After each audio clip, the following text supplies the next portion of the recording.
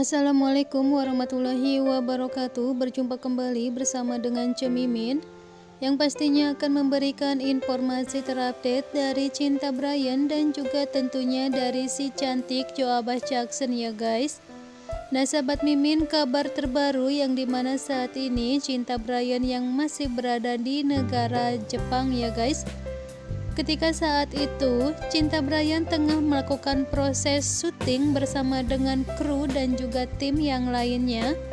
Sambil bercanda ada sesuatu hal yang dibocorkan oleh tim dari Rindu Bukan Rindu yang di mana hal itu mengungkapkan tabir yang sebenarnya antara Cinta Brian dan juga Joe Abah Jackson.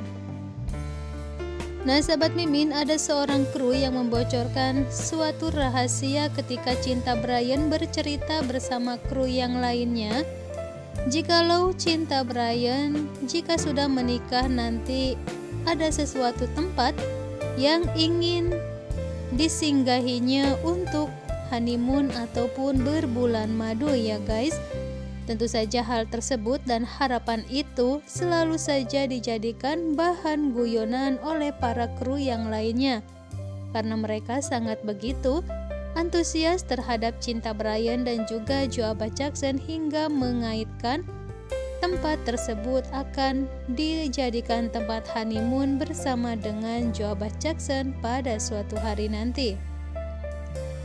Sontak saja ungkapan dan juga unggahan dari para kru tersebut menuai komentar dan juga ramai menjadi perbincangan publik ya guys. Tentu saja hal itu juga membuat sebagian para fans mendoakan agar apa yang diinginkan dan dicita-citakan oleh Cinta Brian bersama dengan Joe Jackson akan secepatnya terlaksana. Nah sahabat Mimin ternyata kota yang diidam-idamkan oleh cinta Brian yaitu kota Paris. Tentu saja hal tersebut sangat begitu diinginkan oleh cinta Brian ketika honeymoon nanti bersama dengan Joabah Jackson. Tentu saja kita aminkan saja ya guys apa pun harapan dan juga tujuan dari cinta Brian dan juga Joabah Jackson. Nah itulah informasi yang bisa Mimin sampaikan untuk saat ini. Mimin pamit. Wassalamualaikum warahmatullahi wabarakatuh.